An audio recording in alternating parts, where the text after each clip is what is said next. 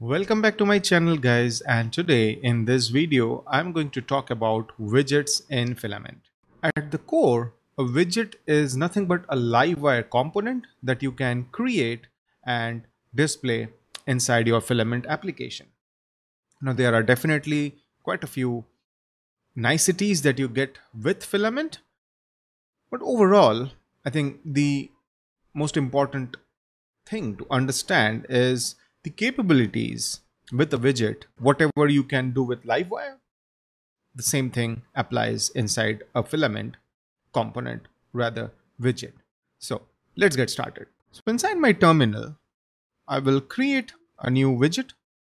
So PHP artisan filament widget and let's create two widgets and what we will try to do is show this on the top section of the student page. One widget will be student attendance widget, something like that. Okay. And resource, you need to mention the resource. Um, it will be student resource. All right. Now, what does the message say? Successfully created that widget. Make sure to register the widget in student resource get widgets and then again in these two functions of any student page. What are the different files that we got? Let's quickly check. If I go inside my apps, filament, resources folder, inside the student resource, I have a new folder called widgets and this is where the widget class got created. All right, I think that is the reason why we need to mention the resource with which the you know the filament widget is linked. And inside the resources folder views filament and then we have this resource student resource widgets and this is the blade file.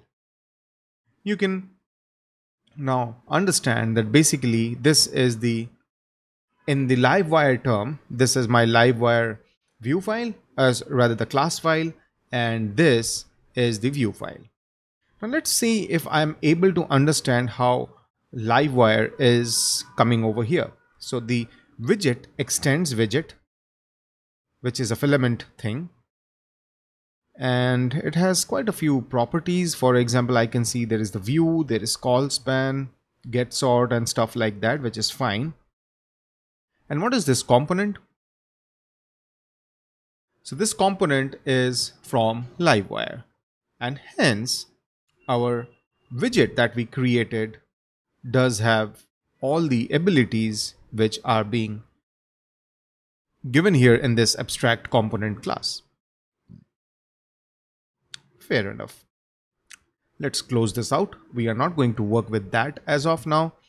But then it mentioned I need to register the widget in the student resource get widgets. Okay why don't I open up the student resource? Oops. Okay, I have table. I have my form. Let me minimize them. So there is no function by default, which is fine. Let's see if I can get that one. Get widgets. Okay, it returns an array. I can do that. So our widget name is student attendance widget like so. With this, will we see any change in the student resource? No, we haven't seen anything as of now. Let me just add a few things, um, maybe a p tag, strong tag, attendance, uh, I don't know, I'm just doing some basic stuff haven't thought through the components thing. But yeah this is what ideally should be visible. It says it's a, there is a spelling mistake. Da yeah. Sorry. All right. Now how do we display this? We added this line over here which is get widgets but i don't see that making any impact. However what I know we can do is the page which we have for the view inside student edit student, right? In here, I do have a method called let's search for the widget again. So we have two. One is get footer widget columns and there will be one more which is get header widgets column um, header widgets rather okay?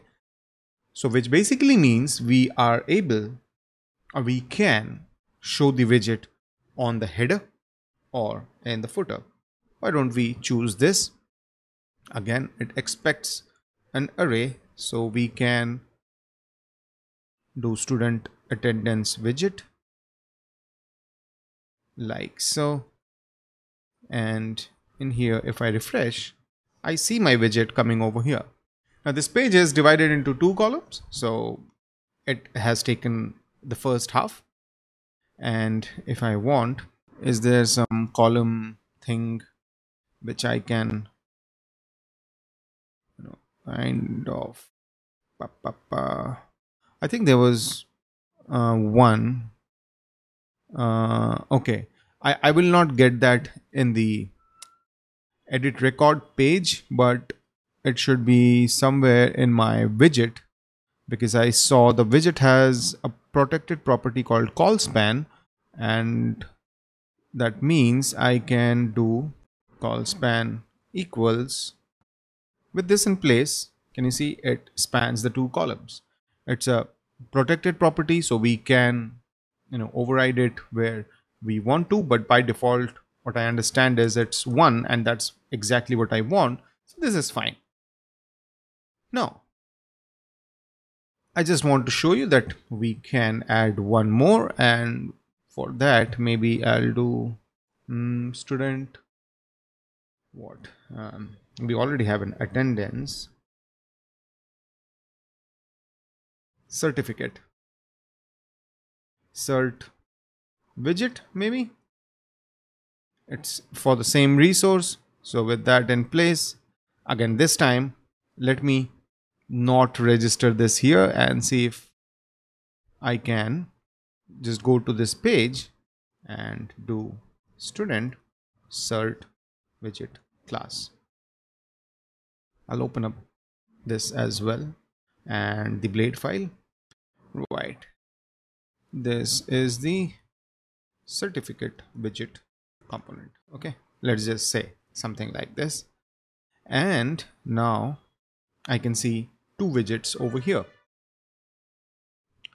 In the edit page if I do get footer widgets and save then you will certainly see that is visible below.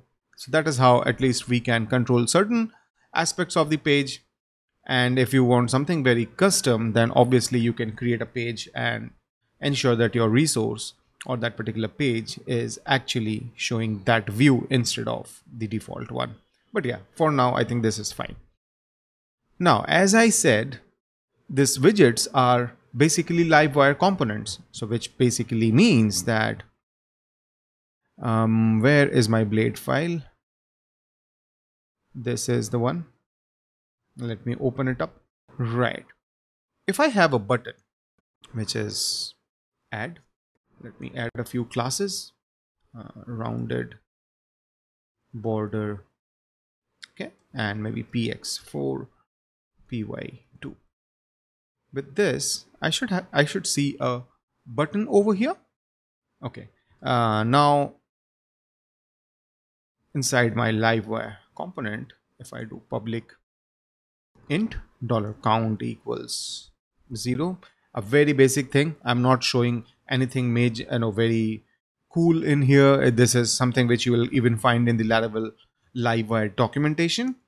Okay so i just have increment count as a method and i'll do this count plus plus. Now i can basically call that function. I had a spelling mistake so uh, Uh, wire click like so. And why don't we show the count? Hit save add and can you see this thing is working right? And one small little thing. Now i am in the context of this particular user right which is professor abigail moore. What if i want this model inside my widget? Well i can do that you see. What i would do is public. This model may not be there so I'll just do a question mark and set it to null by default.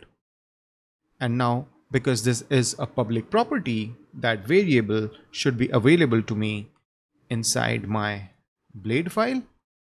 So we can do dollar record name. I know it can have a null value but I am not doing that consideration as of now. But as you can see if I go to any student that name is visible inside the widget. And that's the most important thing I am able to reference the current model whether it is inside the view or somewhere else this data is available as a model object and I can play around with it. So yes, this is what I wanted to cover inside a widget. Widgets are nice little components which you can create and you know, sprinkle around in your application if you have something very custom to work with and yeah gives us a lot of flexibility so that's widget for you inside filament. Let me know what you feel about this. If you like this video then do click on the thumbs up icon and don't forget to subscribe to my channel